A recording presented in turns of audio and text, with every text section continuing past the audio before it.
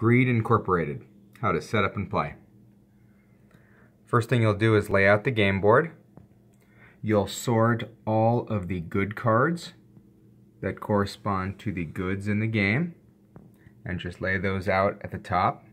You'll also put a black cube on the starting price for each of the goods that's indicated by the color spot.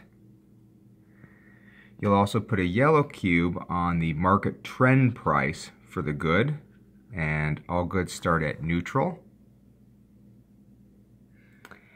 You'll put black cubes on the gold status symbol track on the yellow boxes, so it starts at 50.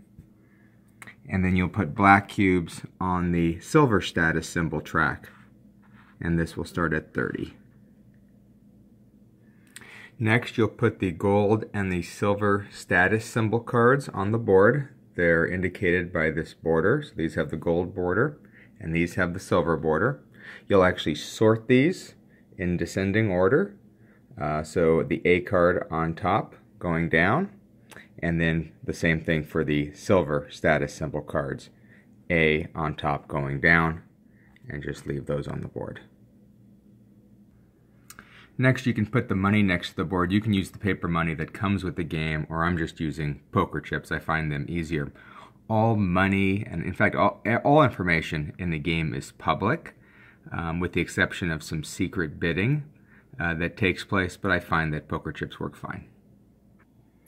Next, you'll prepare the stack of asset cards. So here's the back for the asset cards you're first going to remove asset cards from the game if you're playing with only three or four players. So if you're playing with four players, you're going to remove these cards that say X, 3, and 3 or 4. And then there's also cards that say remove them if there are four players. So if you're playing in a four player game, you'll remove a total of eight cards. These three, three slash four, and the ones that just say the slash 4. If you're playing in just a three player game, you're only going to remove these four cards from the game. If you're playing in a five player game, you use all the asset cards. So I'm setting this up for a three player game, so I'm going to remove these four cards from the game. I'm going to leave the four player cards in the game. And then what you do next is you sort the asset cards into four stacks. Uh, these are all the teens. These are the 20s. These are the 30s. And these are the 40s. And then you'll shuffle each stack. After you've shuffled each of the stacks, you'll just put the 40s on the bottom, the 30s on top of those, and likewise. The 20s will go on top of those, sh shuffled within their piles and then the teens on top of those, and you've created the draw deck for the asset cards. Once you've created the asset card deck, you're actually going to deal two to each player. So I'm playing a three-player game, so each player will get two asset cards, and they will get their starting stack of player markers. These, these markers go with the player. So each player will get with two asset cards and their player markers. Players start with no private cash to start the game. Any player markers that you're not using can just get removed from the game. Next, you'll prepare the company cards in the game. The ones with the black circle are the starting company cards, and the ones with the white circles are the ones that can actually get started um, after the game uh, is in process. So you'll take the ones with the black circles, you'll shuffle these, and you'll randomly deal one to each player. Alright, I've randomly dealt a company card to each player in this three-player game. Um, the player that actually gets the lowest number company card, which in this example is 1, will actually get the starting player marker. Any company cards that aren't used this is a three player game, just get removed from the game. The other company cards with the white circle will actually just get placed next to the board game, and these are companies that can get started throughout the game. Each player will get a company placard. uh, for the company that they started. So you can take the company card and just put it on the company placard. They also get to put one of their player tokens on the CEO spot. So do that for each player. And then each company gets to start with a with a hundred of free cash into the free cash spot. From this point forward, it's very important to keep separate companies that are controlled by players separate from the player asset cards and the player tokens. And as players get private cash, making sure that stays separate from company funds. You'll also set out additional company placards equal to the number of players. So since this is a three-player game, I'm setting out three additional company placards. Basically, that mean, that's limiting the number of new companies that can get created uh, in this game. If we were playing a five-player game, obviously each player would start with a company, and then we could start five new companies in a five-player game. So the number of new companies that can get started are based on the number of players. You're also going to give each company a black dollar sign. This is used to mark and kind of put on top and lock uh, last year's income that was earned. Since this is a newly formed company, we won't put that on the board, and that'll help us remember that this is a newly formed company, and they're not subject to the blame game, um, or they're not subject to actually getting any executives fired during the blame game phase, since they're a newly formed company. In later rounds, once they get a chance to earn money, we'll put that there to lock last year's earnings. The last thing we'll do as part of setup, and it's actually anytime a new company is started and a company card is selected, we'll actually adjust the trend price for the good on the company card. So here you can see it's the cotton icon and it's a green arrow saying it's going to go up one. So you go to the market trend prices for cotton and we'll adjust that to a plus one. And we'll do that for each of the company cards that got started. So we'll see houses will go up one and sand will go up one. So sand will do one and houses one. And again, we, will do that every time a company card or a company is started in the game. So the game is played over a number of rounds um, based on when the final asset cards get played by players. Um, in a three-player game, there's going to be 12 rounds or 12 years, and in a four or a five-player game, there's going to be eight rounds or eight years. And the game's always going to end in that round where all players have played their final asset card. So each round has 10 different phases, and the first phase is the announcements phase. So basically all players uh, simultaneously will select one of their two asset cards and then simultaneously reveal those and place a player marker on them.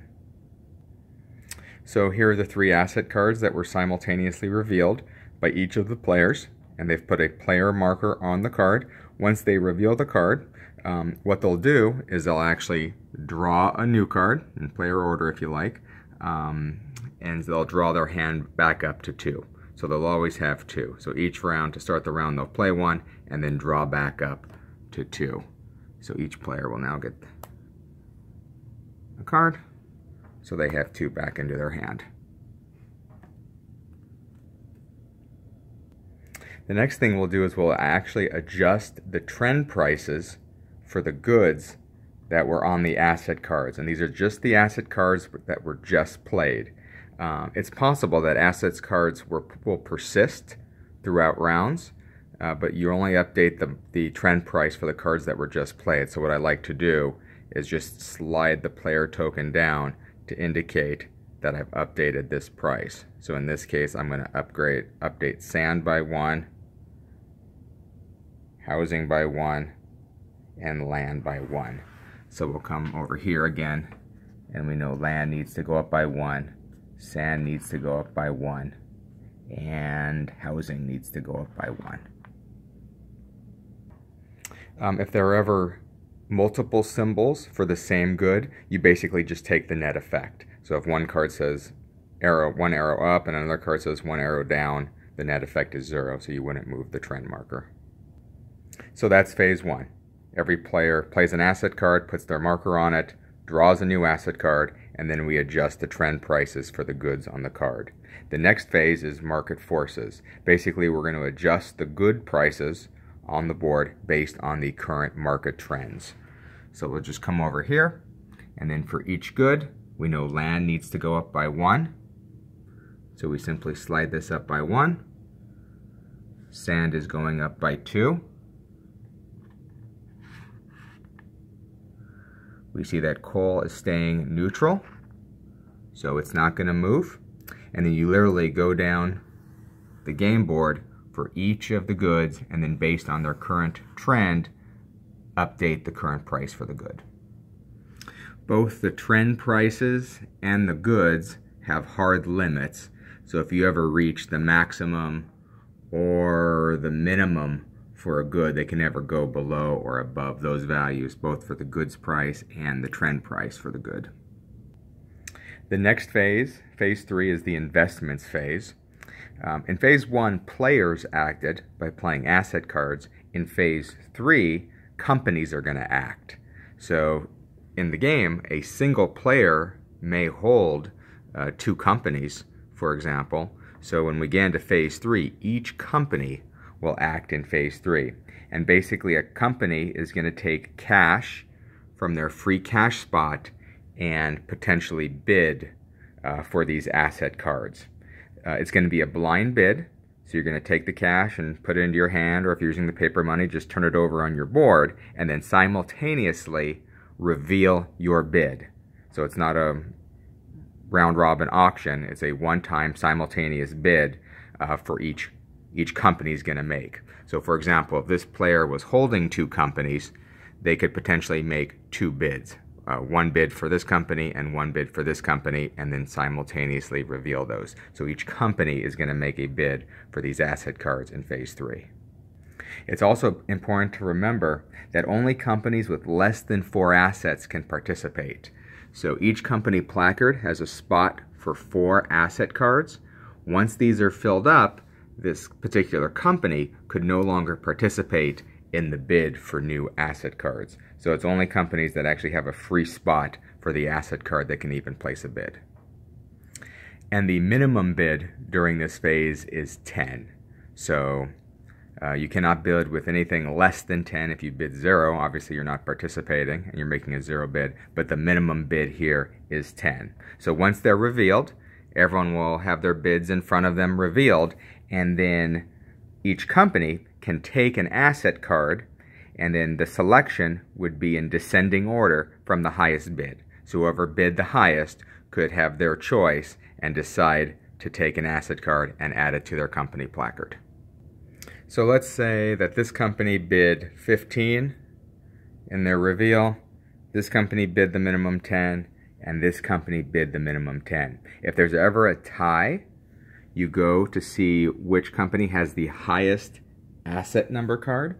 The asset number card is down here on the lower left, so the higher asset would break the tie.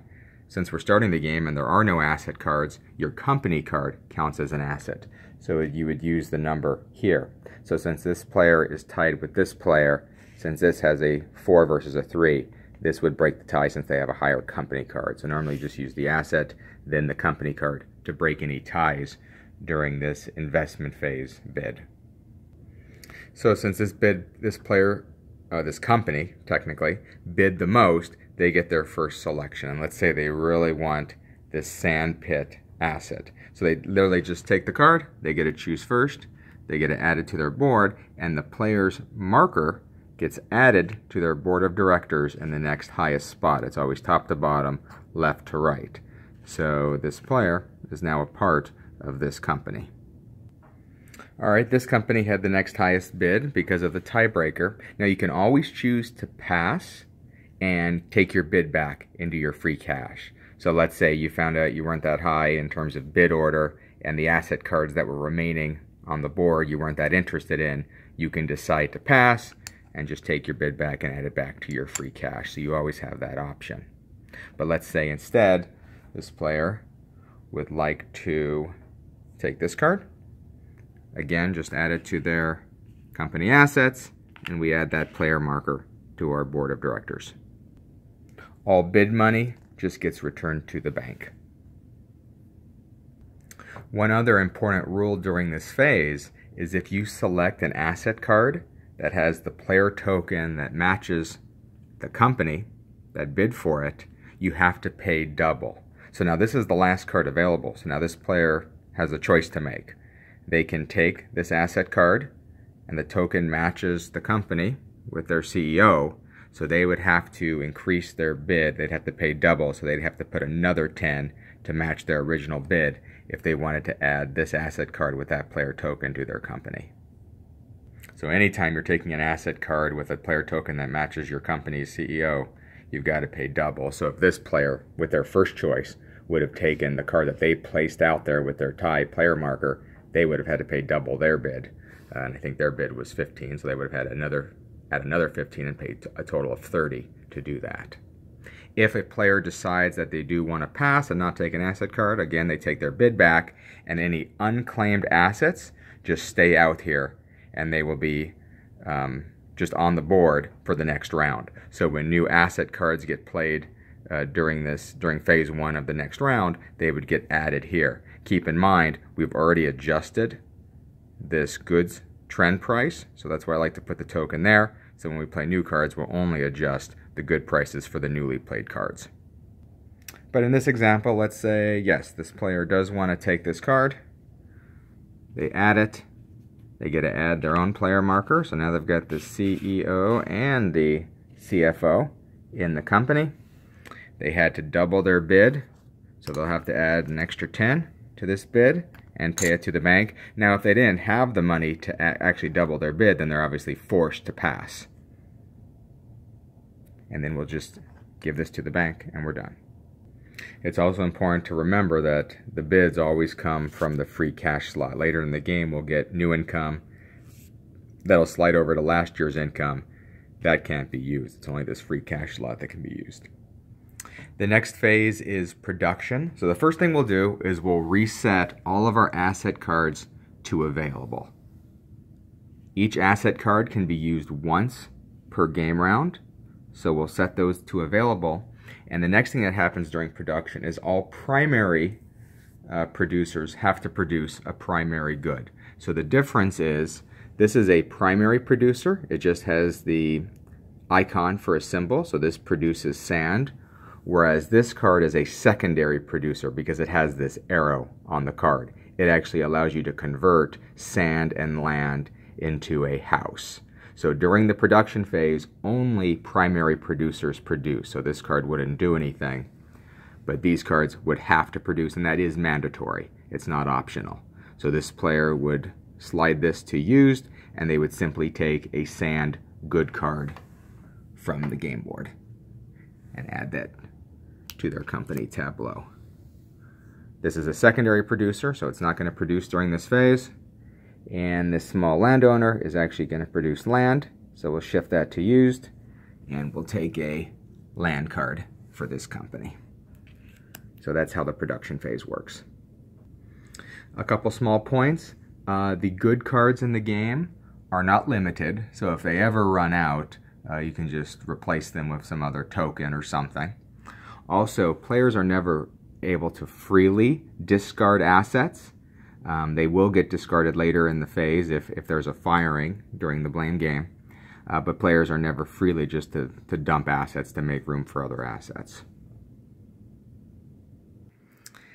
After production of the primary goods, the next phase is called trade and process. And this can be done in any order. Basically, each company uh, can process goods using secondary producers. So if this company had the requisite sand and land, they could use this asset once, turn those cards back into the game, and take a house card. Or, since they don't have those cards currently, uh, they can trade and try to trade with other players. And so this can happen in any order. You can do trades and then process, or process and then do trades. Basically, uh, companies and basically the CEO of the company, both the, the, CEOs of both companies involved in the trade have to agree. companies can trade any combination of goods cards, not assets, goods cards, and cash. So you can trade goods cards for goods cards, you can trade goods for cash, um, or you could even trade cash for cash.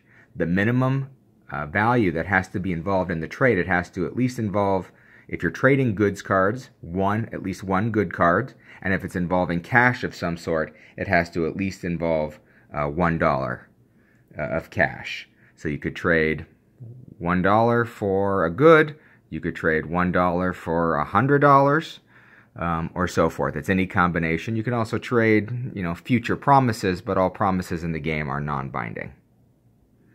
So let's say this player eventually wants to use this builder, so they know they need sand, and this player has sand. So they offer them, let's say they offer them, well, let's say the current price for sand on the board is 35, so that's the going rate. You're never able to buy goods from the game. You can only acquire goods through primary production or trading with other players.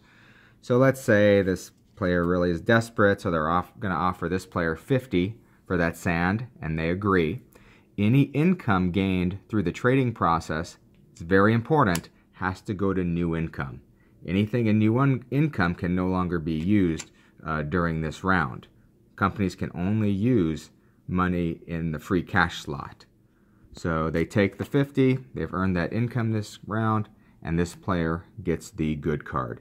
Goods cards can be traded over and over and over throughout the trades phase, so they don't get locked. But any revenue gained from a trade always goes to new income, even if you're trading cash for cash. So how that work, might work later in the game is when you're controlling two companies, maybe you want to do some shady maneuvers to get cash from one company to the other. So that's where you might be trading cash. Keep in mind that any cash that gets traded as part of a transaction goes to new income and it gets locked and can no longer be used as part of a trade. Only money and free cash can.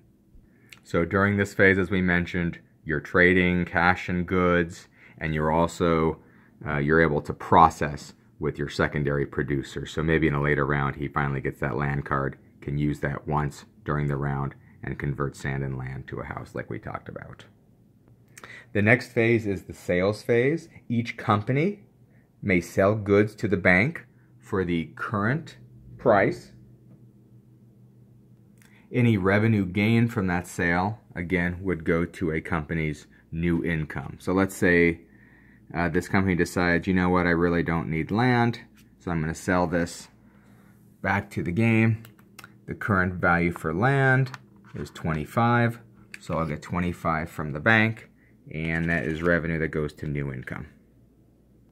Companies can also store goods for the next round. So remember in this example, this player is eventually going to want to use this, so they don't want to sell their sand yet uh, to the game. So they're going to decide to store it. Each company can store one good for free, but you can see the cost increases 5 for a second good, 10 for a third good, and 15 for a fourth good, you ever only have a maximum of four slots to store goods. If you have goods in excess of four, or maybe you can't pay the storage costs, and that would come out of free cash during this phase, then you're forced to sell those uh, to the game, to the bank, and put that money in new income. All right, once we finish the sales phase, the next phase is to close the books. So the first thing we do is we evaluate to see if companies made more money this year than the prior year. Since this is the first round of the game, we didn't put our black token there. We know the company is not going to get evaluated. But let's say this was a future round. And let's say last year, it might look like something like this. Last year, we know the company made 100. This year, they only made 50. So they did not increase profits. You have to make more money. You can't even match. You have to make more money than the year before. If they didn't, they're actually going to place one of these red boot markers on their company card to symbolize that someone's going to get blamed uh, for this company's failure. And uh, there's going to be some firings going on. But in this example, uh, this was the start of the game. We know mo no money was earned. Um, because it's a new newly formed company. So this company's okay. So as long as you've made more income this year than you did last year, you're fine and you don't have to place a boot marker. Once each company gets evaluated to see if they get a boot marker, then we're just going to shift the cash down. So any money in last year's income gets shifted to free cash, and now it can freely get used. And then since this is the first round of the game, any new income gets shifted to last year's income. And this is when you can mark it. So now you know, in order to avoid the boot next round, this company has to earn more than, than 50. You'll remember this company didn't earn anything because they're waiting uh, to use the secondary producer. So you'll simply put the dollar sign there to say this company earned zero uh, this year. So next year, as long as they earn one or more, they'll be they'll be fine. And then here in this example, that company earned 25 this year. So before we go on, let's actually fast forward one round to see how this would work after the first round. So during the close the books phase, we evaluate new income to last year's income. We saw that this company did not make more this year than they did last year. So we're going to place a red boot marker on the company. This company did fine. They made 100. Last year they made 0, so they're okay. And this company made 25. They made 25 last year, so they did not increase it. They only matched it, so they're going to get a red boot marker also. And then once we do that, each company just shifts last year's income to free cash, new income shifts there, and they're done. And then each player would do that. This last year's income would move to free cash, and new income moves to last year. So that's how the procedure works in Close the Books. All right, so after we close the books and assign any boot markers for companies that didn't exceed last year's profits, we go to the next phase, which is the blame game. So this is only for companies with the boot marker, and we would do this in company order. So it's always the company with the highest asset number. In this case, it's uh, this company. And then each board of director member, which includes the CEO, the CFO, and the COO, gets the opportunity to blame a fellow executive and it gets announced in this order. The CEO announces first, then the CFO, then the COO. So this CEO can blame himself, he can blame this player, or he can blame this player. Let's say in this example, they're really interested in getting an exit bonus, so they're going to blame themselves. Anytime an executive is blamed, they're fired. Now, this CFO has the opportunity to they can also blame themselves, which would cause them to get fired, or they can blame the CEO. A role can get blamed more than once. As long as you're blamed at least once, you're going to get fired. But this player knows that, you know what? He's getting fired. He's going to leave the company. I've got a chance now to get promoted and take over this company. So this player is just going to also blame the CEO, so they stay fired. And then if there was a COO, they would get the opportunity to blame one of these three roles, including themselves. After executives have been blamed and fired, they're going to earn an exit bonus if they're fired and leaving the company. Um, if the CEO gets fired, they get 40% of the current free cash. The CFO gets 20% of the free cash, and the COO also gets 20% of the free cash. So in this example, we only have the CEO exiting, so we'll take uh, 40% of the free cash, always rounded down, pay them from the free cash, and then that money goes to the player's uh, private reserves, not to be confused with a company's reserves. So any any exit bonus payments always goes to the player. If we did have the example where both executives got fired, we would do the calculation once. We don't pay and then recalculate. We would calculate what's the 40% payout for the CEO and then what's the 20% payout of the existing free cash for either of these roles and those would get paid out to those executives to their private reserves and they would get fired from the company. But in this example, only the CEO got fired, got the 40% payout, and this executive stayed in the company. It's also important to remember, we know this company doesn't have a boot, so they're not going through the blame game. But look, they've got their same player marker. So let's say, let's say they even had all three and they all blamed each other and they all three got fired. The same player would earn 40%, 20%, 20%. So a total of 80% of the free cash they would get into their private reserve because they controlled all the executives and they all got fired in that example. Any remaining free cash after pay, paying the exit bonuses just stays within the free cash of the company, and then you're going to promote remaining executives. So this player got their exit payment, uh, and we promote up. You always go top down, left to right. You fill all vacant spots with any executive. So all remaining executives get promoted up into the company. Now we also have a situation now where this company is no longer controlled by this player. It's controlled by the tie player. So this entire company placard now would get shifted over to this player and now they're in control of two different companies since they're the CEO. The final phase of the the final step of the blame phase is the CEO of any company with a boot has to discard one company asset. It's their choice.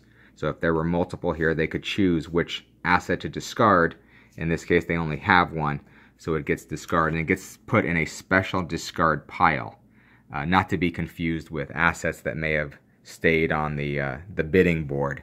This is a special asset uh, that goes into a discard pile that can actually be selected later if a new company gets formed. It's also important to realize that the CEO makes that decision. So it could be the same CEO um, if they weren't fired, or it could be a new CEO. But any company that had the boot marker, the remaining CEO or whoever is currently the CEO has to make the decision of which asset to discard. Uh, any company that didn't have the boot marker obviously does not have to discard anything. One final point uh, if there are no remaining executives in the company, um, then the company is completely liquidated. So any goods cards just get returned to the bank, any cash gets returned to the bank, and the company placard is completely out of the game, and, and along with the company card. It's no longer eligible to be restarted. So once we complete the blame game for each company with a boot and go through those steps, we go to phase 9, which is work hard, play hard, where now players with any free cash that they have earned through exit bonuses have the chance to get gold status card symbols or silver status card symbols. So we're going to completely skip this phase if no players, individual players, have sufficient private cash.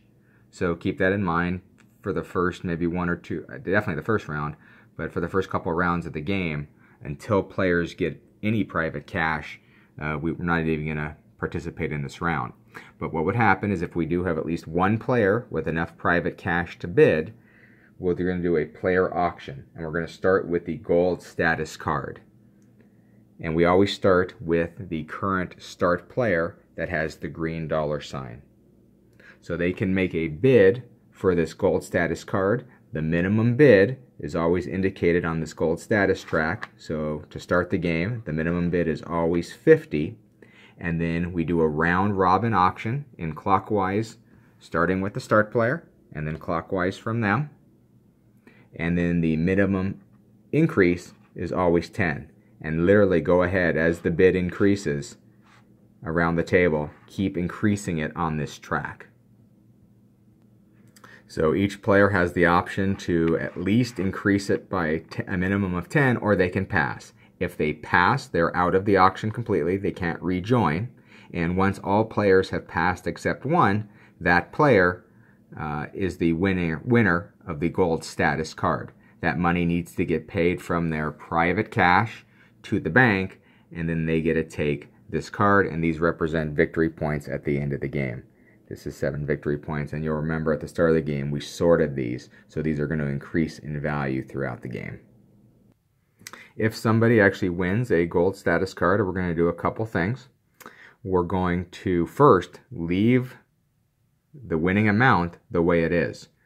The next time we have an auction, this is now the minimum bid. So it always ever only increases, it never decreases.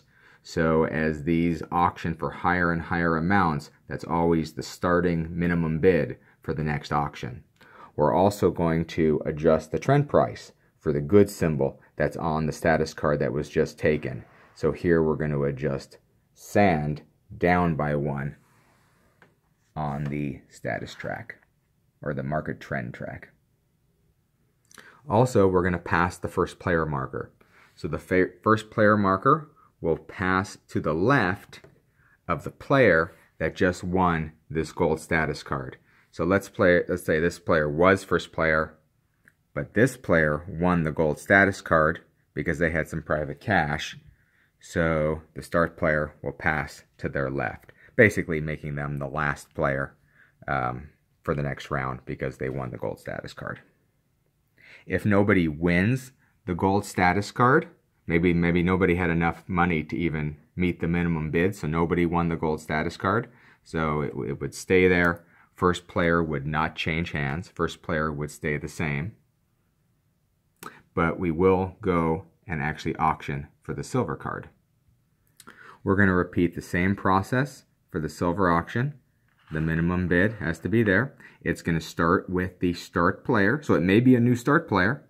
If somebody took the gold status card and the, the start player changed hands, that player is going to start the bid for the silver status card. An important thing to keep in mind is if a player won the gold card that round, they're not eligible to participate in the auction for the silver. So if you win the gold, you can't also win the silver. You can't even bid. The same procedure applies. You do a round robin auction, starting with the start player and then going clockwise. Each bid has to at least be a minimum of a 10 increment. If you want to raise it higher, you can. Uh, at the end of the auction, this track will stay locked. This will be the minimum bid for subsequent rounds. Uh, the player would take the silver status symbol card into their hand, which gives them victory points at the end of the game. Again, this is public. All players can see this. And then, like before, you'll adjust the market trend track for that specific good. And then finally, the start player is not affected by the silver auction. It's only affected if somebody wins the gold auction. After we complete phase 9, the work hard, play hard, which are the auctions for these cards, we go to the final phase of the round, which is the entrepreneurs phase, where we can players can bid for to create one new company in this round. And now keep in mind it's only for players with less than two companies. So once you have two companies, you're no longer eligible to bid to create a new company. Now, there is a way to actually get more than two companies. If you actually inherited a company because of some firings, then this company placard would go over here, even if you already had two companies. So you could potentially have three companies, but you're not able to bid for a new company unless you have less than two. Also, you have to have enough um, private cash to participate in the auction. So the minimum bid for a new company is 50. So if no players have sufficient private cash of 50, then again, you're going to skip this phase entirely. Also, you would skip this phase if you've already started the maximum number of new companies in a game. Remember that equaled the player number. So let's say in this game, three new companies had already been started throughout the game, then you would skip this phase entirely. The auction works much the same as it does for the, uh, the gold and silver cards. It's going to be a round robin auction, starting with the current start player and going clockwise. The minimum bid for a new company is always 50, and the minimum raise is at least one. So players can raise the current bid by one, or they can pass. If they pass, they drop out. Uh, the remaining player would win the new company. They would pay money from their private cash to the bank and they would take a new company placard and put it in front of them, and then they can decide which of the new companies, new company cards they'd like to create. Uh, factoring into the decision might be the number of the card or the type of good where they'd like to affect the market trend. You'll remember whenever we create a new company, whether in setup or in this phase of the game, and let's say this company gets selected, we would adjust in this example, railroads on the market trend track. And then just like in setup, if you win the auction, you get to place the company placard in front of you. you get to place your token in the CEO spot. You'll put this whole placard in front of you, and you get to add 100 to the free cash of the company, and that comes from the bank. One final step uh, you'll get to do for this new company, since you're the CEO, is you can select up to four assets from the discarded assets pile and add them for free to your company. And they're not going to come with any executives. You're not going to adjust any prices. Um, there's only one in the pile right now, so you can choose to take it and add it to your company. But if there were multiple cards in the discarded asset pile, the winner of the new company can choose um, up to four of those if they choose, if they'd like to, and add them immediately to their company placard.